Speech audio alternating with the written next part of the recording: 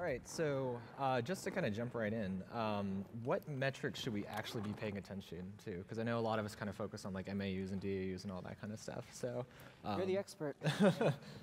so I think it depends on, frankly, where you are in your maturity as an app developer or publisher, um, and frankly, what hat you wear. For for smaller publishers that are, or let's say developers that are introducing their first app frankly, a lot of the store rankings are critical, right? So where are you ranked? What do the downloads look like? How's monetization? How are you comparing to your peers, um, let's say within your same category? Um, but as you start to mature a bit, you need a lot more information. And this is where we can talk about MAUs, DAUs, WAUs, right? Um, I think there's obviously been a lot of attention put on monthly average users, and it's, it is an important metric, but in a vacuum, it doesn't mean that much, right? So if you're, let's say, at the type of app that um, it's more about frequency than duration, then think about something like you know an Uber, right? And it's you want to have as many transactions as possible. A lot of commerce type apps would fall into that category.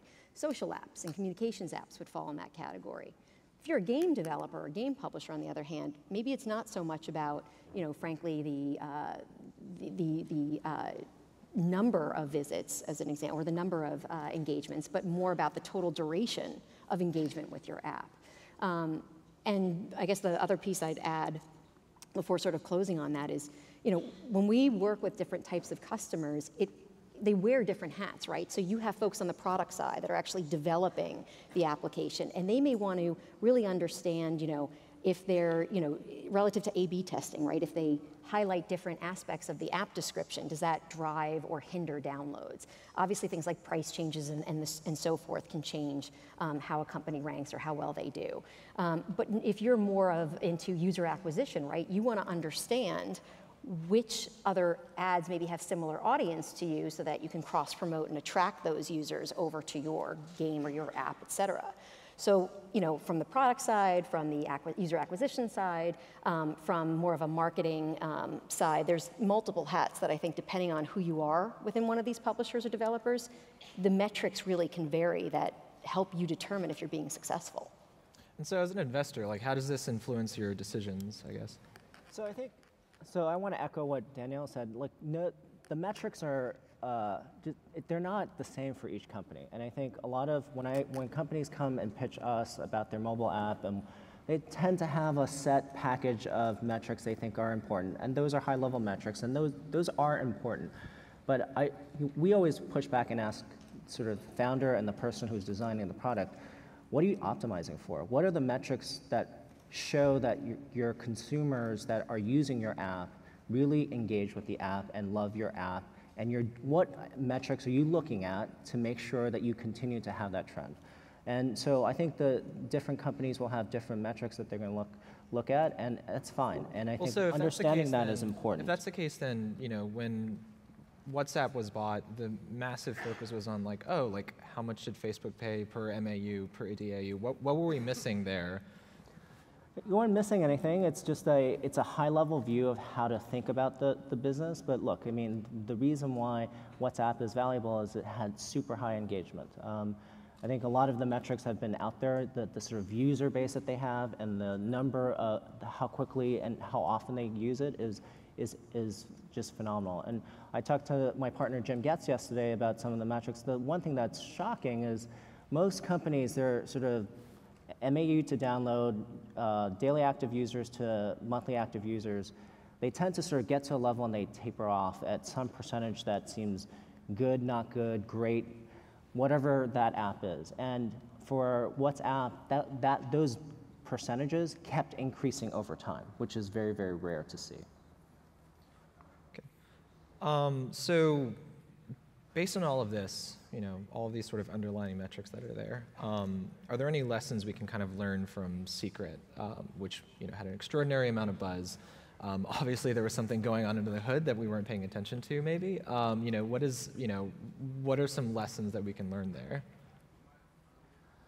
Well, I don't, I don't know anything about Secret specifically. We're investors in Whisper, uh, and they seem to be doing fairly well. And I think one of the things they focused on when I was talking to Michael Heyward yesterday is, the, um, is their focus on engagement. And the metric they, they care about is on if today a user comes back, comes and uses that, the app to get today, what percentage of those users use the app five out of the last seven days? And so he said that it's okay to disclose this. It's 50%. That's a pretty high engagement level. That a user today was around last five out of seven days. It wasn't like just today or yesterday. It's the last five out of seven days, and that's a pretty that's a longer window that than some people are willing to look at. It speaks to why MAUs are not enough, right? Because if they're using it infrequently, they'll show up in the MAU, but that's not a good indication of engagement for that type of app. Is this something that just found some founders are not paying attention to, or? Well, I, I don't. I, I think different founders should pay attention to different things. If you're a commerce company, you care about the cohort and how fast they churn. Uh, because if they don't come back uh, month after month and after month to spend, that's not good. But they don't need to come back every day. They can come back once a month, so long as they get value out of it and they're willing to pay. That's fine. So like for Uber, for example, like what, what are some of the metrics that show that to be a really, I mean, it's a company that's worth tens of billions of dollars, right? I mean, when I, when I think about what would be success, or what kind of metrics to watch, just you know, maybe because you're benchmarking as a as a competitor or what have you, um, or you're in some other sort of space that's also about sort of that conversion of the the digital world to the physical world. Um, it's you know, MAU to me is definitely secondary. Do you want to look at the rate of downloads to get a sense for how that install base is growing? Sure, but as soon as you start looking at monetization, to me, it's about sort of number of sessions.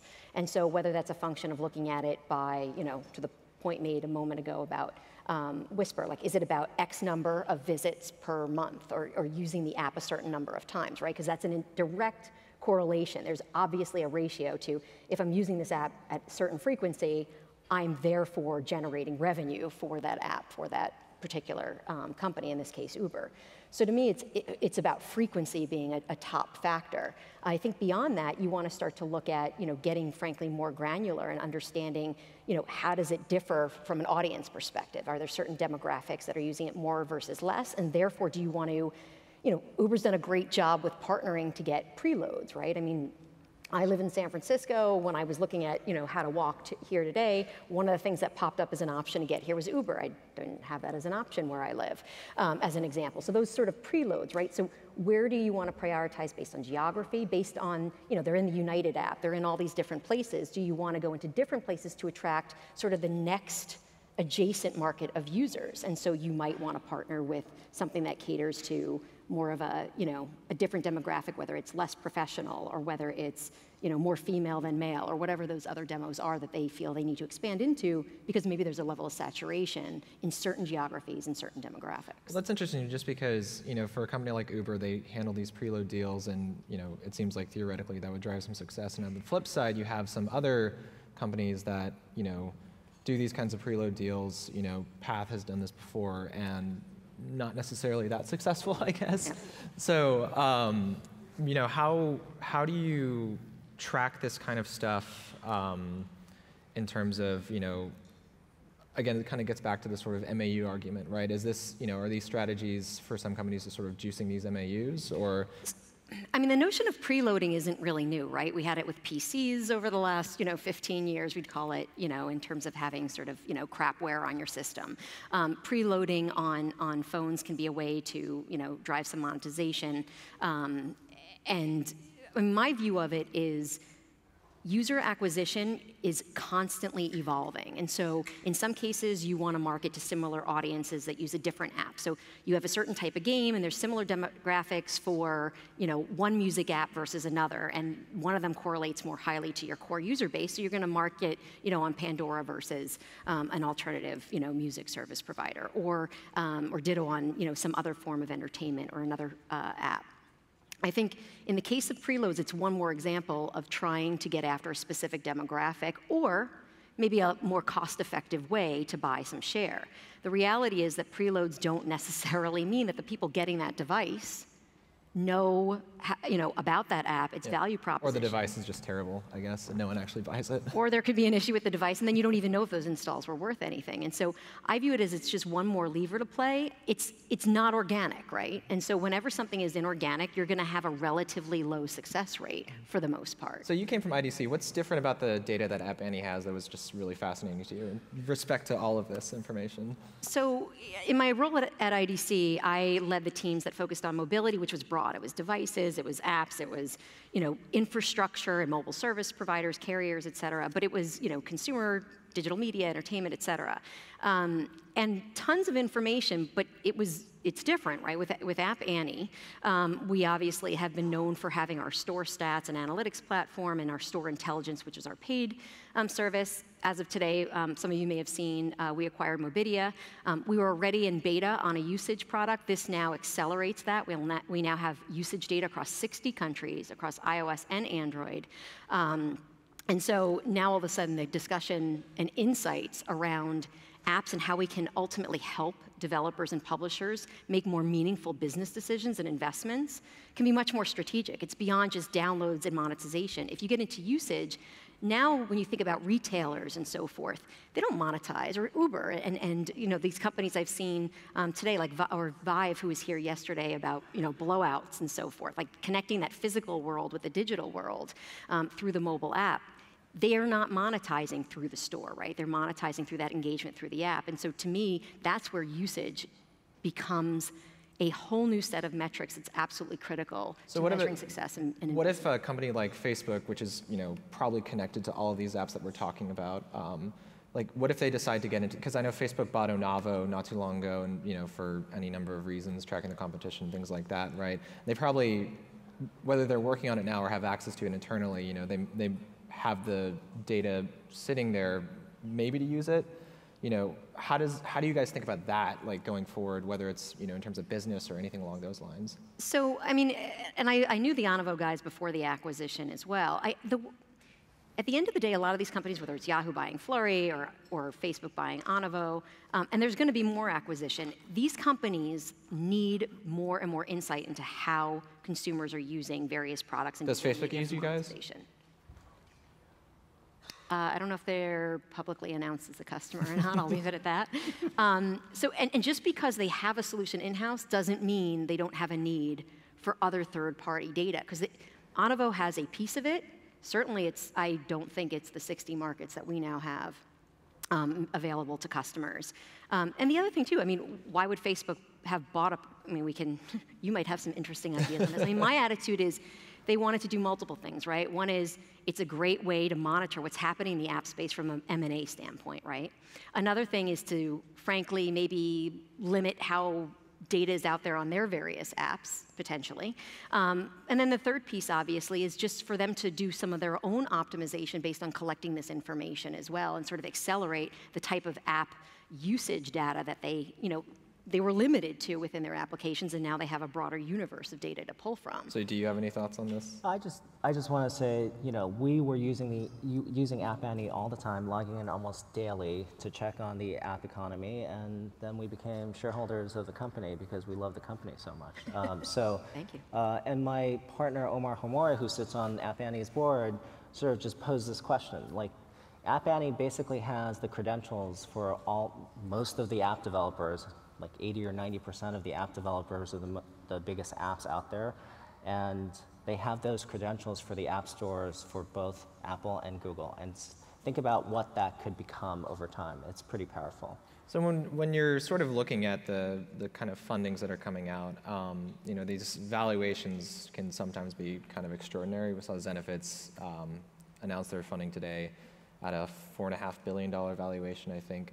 Is it just because, you know, you guys have access to this data, to this information that really actually justifies these valuations? Or is it, you know, is it actually like FOMO and valuation creep and some of the other theories that are out there? Well, I think lots of people have different perspectives, and I think a lot of them, ha- a lot of people have talked about whether we're, we're in a bubble or not. I would just, th- those things are, have been talked about. I would just say that half lives of companies have gotten a lot shorter. Companies grow up a lot faster, they die a lot faster, and so we're going to see more of this going on. And so, I think the maturity, the speed at which companies mature are going to be faster. I think uh, usually you sort of want to get product market fit. You use App Annie, you, you sort of figure out what things are working for your consumer. Then you layer on uh, adver advertising and marketing because advertising and marketing is basically pouring fuel on a fire that you've already created. And I think that's just getting a lot faster. So these companies are raising lots of money to try all sorts of different things in, in, in sales and marketing spectrum to sort of chase growth. Is that a good thing or a bad thing? It's great for the entrepreneurial spirit. It's great for the ecosystem. It's great to get companies started. And it's great for us to try all these different ideas. It doesn't lead to the best operating companies, though. And a lot of our, the companies that we've uh, worked with that have become long-term successes figure out how to start an inferno with a single match, as some of my partners would like to say, and then you layer on sort of the marketing spend and sort, sort of sort of go from there.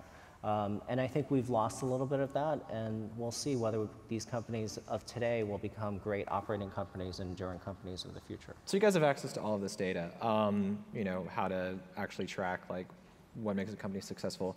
Um, what's your advice to Dick Costolo right now? To Dick, Dick Costolo? Yeah. I don't think I know enough about his business. To, well, in terms of like that. you know, a little bit of stalling growth, like you know, what would you, what advice would you give him in terms of like the kind of based on the information that you guys have? But Dick's really smart. He has a good team. I'm sure they'll figure it out. It, you know, for us, it's, you know, our point of view, it's all about user engagement. And so as long as they focus on that, and and I'm sure they are, they'll do fine. No comment.